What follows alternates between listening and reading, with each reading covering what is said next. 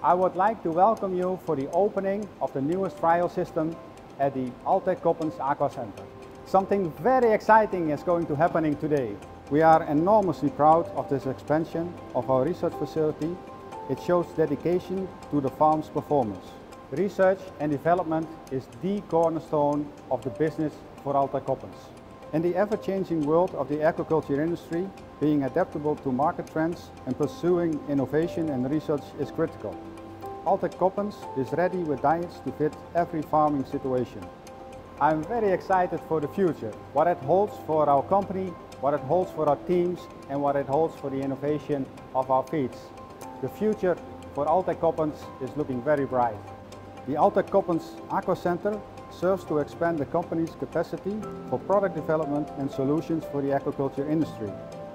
For more than 15 years, the ACSC has carried out applied research within the field of aquaculture. The center is a home to our team of aquaculture research dedicated to quality, innovation and the development of new applications and aquafeeds. I always say the most important ingredient in all our feeds and solutions is knowledge and the ACSC is the vehicle to bring us this knowledge. We now officially declare the ACAC open. Hello and welcome to the Alltech Coppens Aqua Centre, which represents the cornerstone of Alltech's commitment to aquaculture. Let's go inside and find out more about the next generation digestibility system. A recirculating aquaculture system basically consists of two main units. The holding unit with all the compartments or tanks where all of the fish are housed, and the filtration unit. Wastewater containing all impurities such as feces, ammonium and toxic ammonia exits the tanks via an outlet within each fish tank within the RAS and is then firstly filtered mechanically. Within our RAS systems, this mechanical filtration is performed by a drum filter, ensuring the optimal balance between filtration rate and efficiency.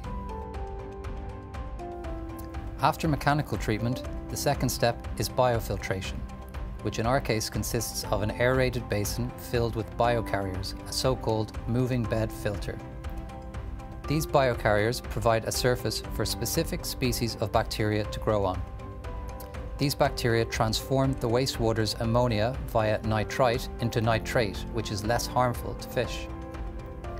The newly filtered water is then heated up or cooled down, disinfected by a UV column, and then subsequently flows back into the holding tanks. This ensures that all holding tanks share the same optimal water quality parameters. A specialty in our new system here is the possibility to temporarily store water from the system in a buffer tank. Normally, when lowering the water level in the holding tanks, for example when weighing fish, a lot of water exits the system and enters the sewer via outflows, placed in different corners in the system.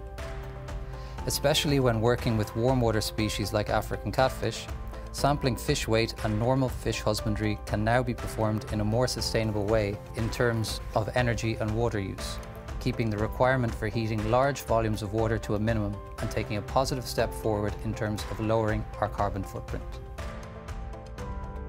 The system that we have built is an enlarged version of a Guelph system, the tanks are an essential part of the system since they must meet different demands such as being suitable for different fish species as well as being technically flexible in order to use one system for different types of experiments.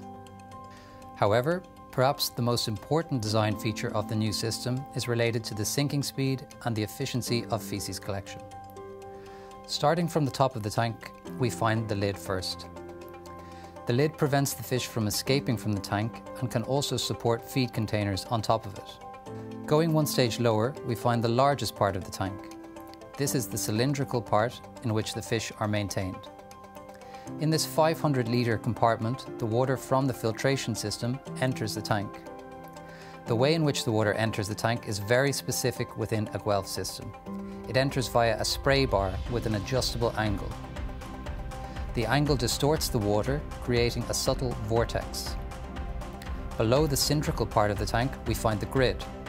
The space between the bars of the grid should be small enough to keep the fish in the cylindrical part of the tank and also wide enough to let the feces from the fish flow through without any resistance.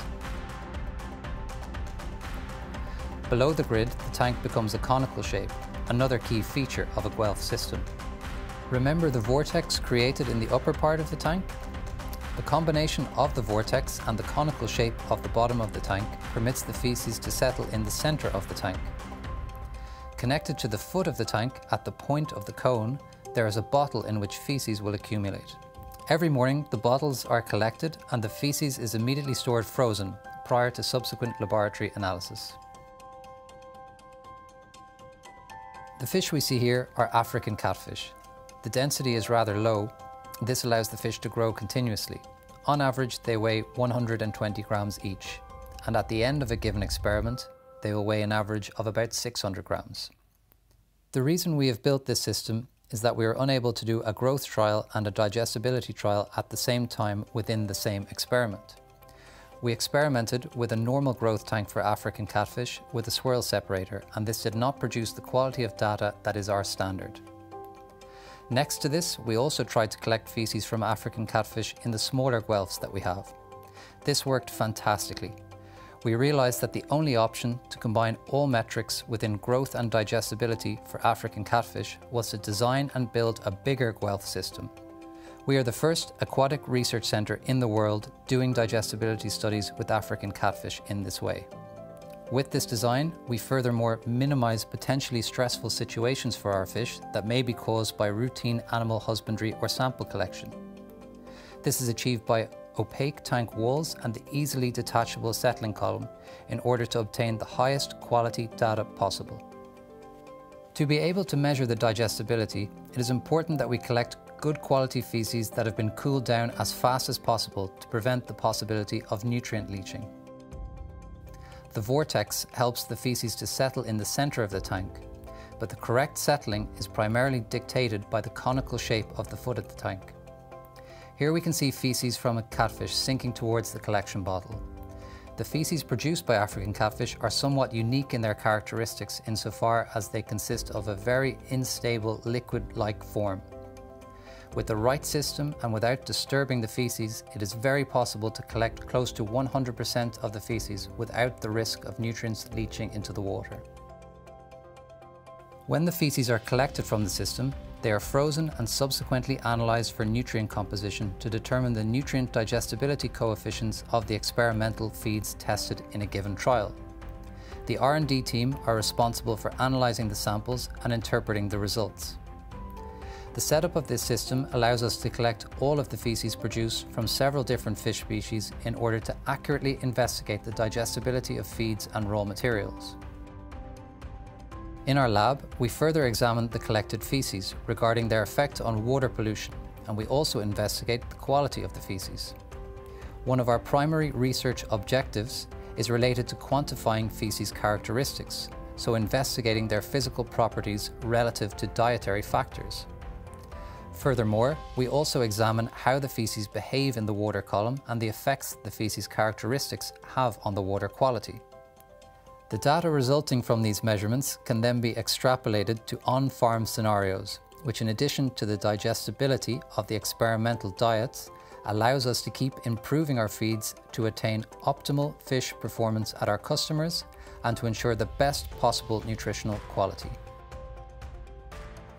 Our research program at the Alltech Coppens Aqua Centre plays a key role in working towards becoming independent from marine resources in aquafeeds and evaluating the nutritional potential of alternative raw materials.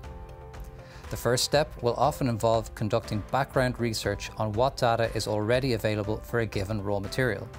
It is only when a new raw material is deemed interesting for use in production and when there is not enough information available that the decision is made to conduct further testing at the ACAC.